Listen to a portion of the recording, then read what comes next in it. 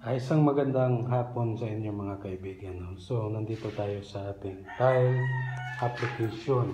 So, we use uh, 60 by 60 uh, tile. No? so, una mo naman namin ginawa is to verify the 1 meter no? height, the vertical height. So, nakuha namin. So, dinala namin pababa. So, all around yan, nilagyan namin ng 1 meter. Uh, para ma-verify namin yung exact, no? yung saktong elevation ng tile. So, pagkatapos yan, kinuha namin yung, uh, yung magiging uh, guide. So, ito yung pansi. No? As you can see. So, iniskwala yan hang, hanggang doon. And then, we use dry pack application. So, pag natin pack application, ah, hindi siya mabasa na halo ng simento tsaka yung sand or yung buhangin.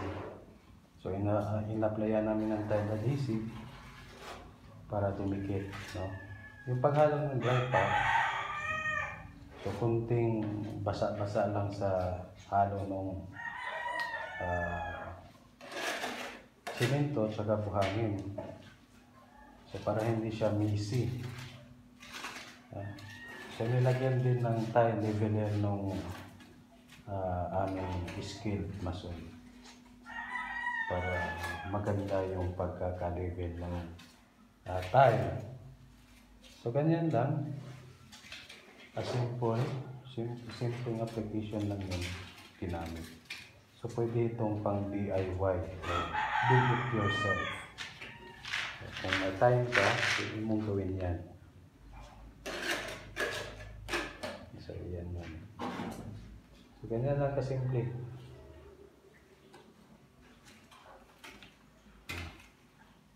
Yan.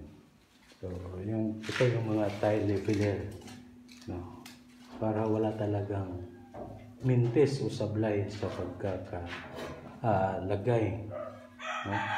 Ah, pagkakalagay ng mga tile. Maiiwasan yung ah, changes of elevation or yung paiba-ibang elevation ng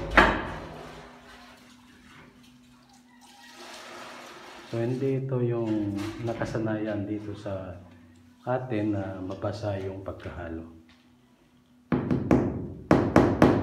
Ganyan. Master to yung ah, nakuha naming skilled mason. Master to kasi siya lang mag-isa eh. Siya lang yung naghalo.